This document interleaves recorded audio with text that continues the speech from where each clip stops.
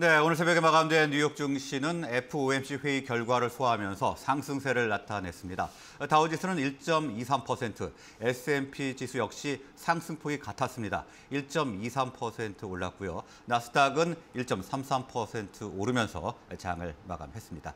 자, 그러면 오늘 전문가들 어떤 종목 공략하는지 알아보겠습니다. 메리츠증권 강남금융센터 황혜수 차장이 연결되어 있습니다. 황혜수 차장 나와 계십니까? 네, 안녕하세요. 네, 오늘 어떤 정보 공략하시나요? 아, 오늘은 ABL 바이오를 말씀을 드리겠는데요.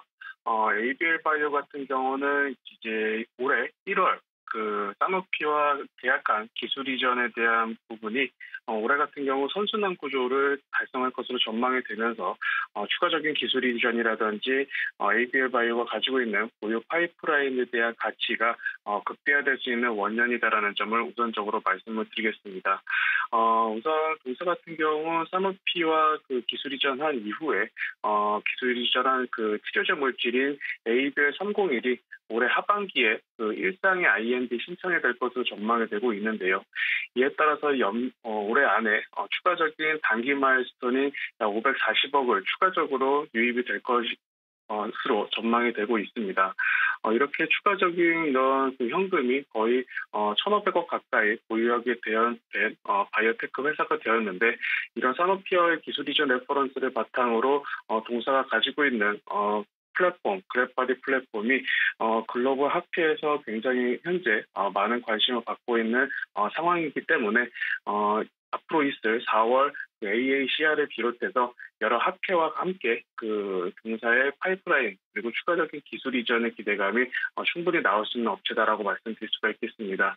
어, 또한 그 동사와 같은 그 물질을 어, 기술 이전했었던 어, 글로벌 업체 디날리가 어, 처음 기술 이전한 이후에 시가총액이 약 1조 7천억 원이었다는 점을 감안했을 때 어, 현재 ABL 바이오의 시가총액 2조 미만으로 거래되고 있는 현재 가격대는 어, 글로벌 그, 어, 경쟁사와 비교를 했을 때도 어, 굉장히 저평가되어 있는 부분이기 때문에 상승할 수 있는 여력이 충분한 업체다 이렇게 말씀을 드리겠습니다.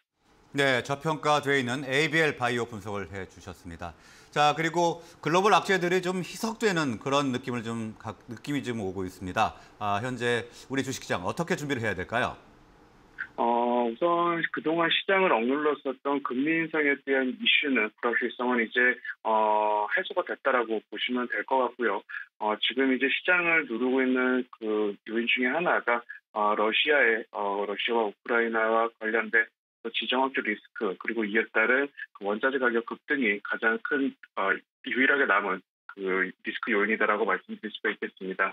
이런 지정학적 요인은 뉴스플로에 따라서 시장 변동성은 여전히 나타날 수 있지만 어, 전일 그 파월 의장이 언급한 대로 어떤 경기에 스태그플레이션이 나타날 가능성은 굉장히 적기 때문에 어, 향후 어떤 지정학적 리스크에 따른 news flow에 따라서 지수가 조정을 받게 된다면 어, 성장주와 그리고 원자재에 관련이 없는 성장주 어, 특히 제약바이오라든지 의료기기 쪽에 어, 포커스를 맞추시면서 시장을 대응하신 전략이 유효하겠다고 말씀드릴 수가 있겠고요. 시장의 방향성을 그, 그 바로미터로 보실 수 있는 내용은 그 외국인의 선물과 선물 시장에서의 어떤 수급 방향을 잘 보시면서 시장을 대응하셔야겠다 이렇게 말씀드리겠습니다. 네, 외국인의 선물과 현물 시장 수급 상황을 잘 체크해 보자 이렇게 말씀을 해주셨습니다. 오늘 말씀 고맙습니다. 감사합니다.